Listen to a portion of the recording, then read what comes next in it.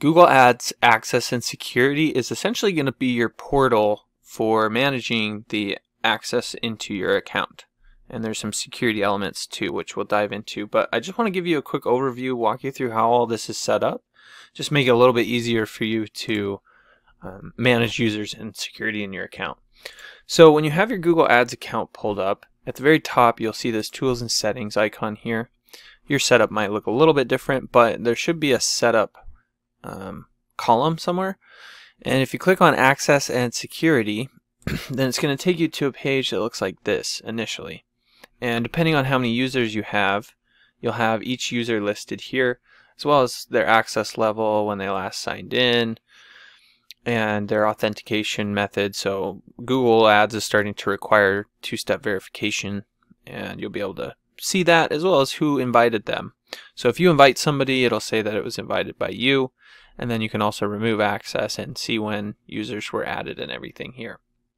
So this is, you know, the user management. You can click here to add new users. I have a whole video that goes into adding new users, um, which I'll link in the description below if you want to watch that.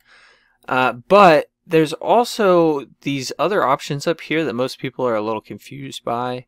And so we'll take a little further look into these. So this is the users, and users is going to be people within your organization, which it'll make more sense when we get to the last element, the security element here.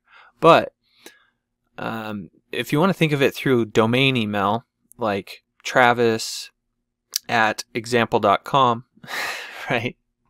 Uh, that would be a domain email. That would be like somebody in the organization. And so then you could have Sarah at example.com and Tom at example.com and all of these different emails within one organization.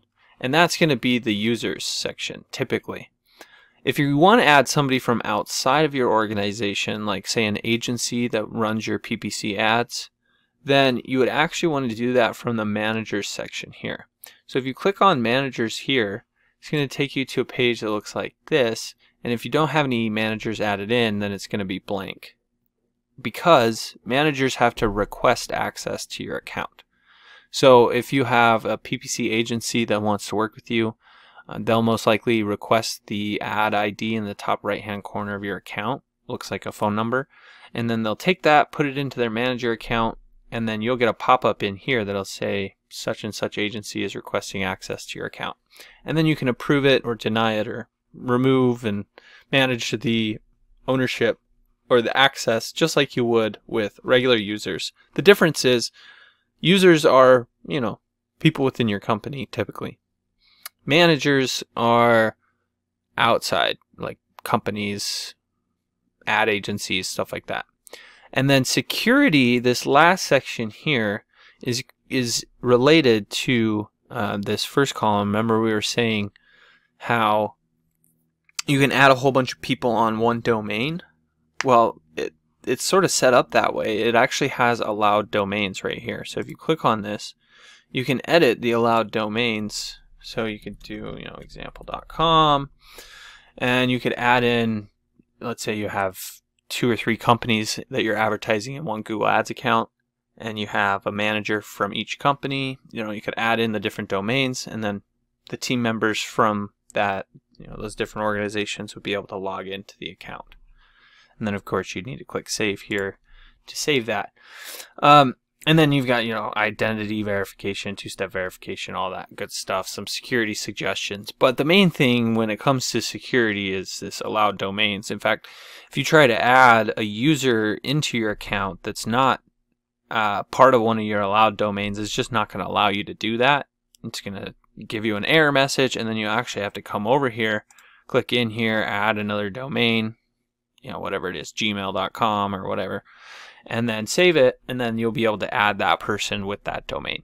And Google has set that up such that you can't just have random people getting added into the account, right? And it's it's a kind of a, a second layer of security because you know ultimately you don't want random people in your account that don't belong in there. So, um, I hope this was helpful as a, a, way to understand Google Ads access and security on a deeper level. If there's anything you did have questions about, don't hesitate to reach out. You can just drop your questions in the comment section below, and I'll be sure to get back to them there. look, if you're the type of person that just doesn't even want to deal with Google Ads anymore, then you can always reach out to me. Uh, my company is Missoula SEO Geek. I'll leave a link to my website down below, but we do manage Google Ads for different companies in different industries, and you can come learn about what we do, what makes us unique. You can even read some of the testimonials from some businesses that we've taken from zero to over a million in revenue, like this one here. And really just see that, you know, this is the type of thing that's going to explode your business growth. So feel free to reach out. You can always give us a call or contact us through our website. And look forward to working with you.